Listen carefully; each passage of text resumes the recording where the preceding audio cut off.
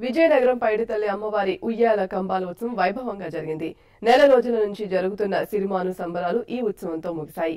అమ్మవారిని దర్శించుకోవడానికి ఉదయం నుంచి భక్తులు దేవస్థానం దగ్గర బారులు తీరారు. రాత్రి పదకొండు గంటల తర్వాత ప్రారంభమైన ఉయ్యాల కంబాల ఉత్సవంలో జానపద సాంస్కృతిక కళారూపాలతో సందడి నెలకొంది. దేవస్థాన పూజారులు తలహరి వంశస్థులు దేవస్థాన అధికారులు అమ్మవారి ఘటాలను పట్టుకుని ఉయ్యాలలో ఊగారు. అనంతరం జమ్ముకులు డప్పుల వాయిద్యాలతో అమ్మవారి ఘటాలను రైల్వే స్టేషన్ ఎదురుగా ఉన్న వనం గుడికి తీసుకెళ్ళారు అమ్మవారు వచ్చే ఆరు మాసాల పాటు వనం గుడిలోనే విడుదల చేస్తారని భక్తుల నమ్మకం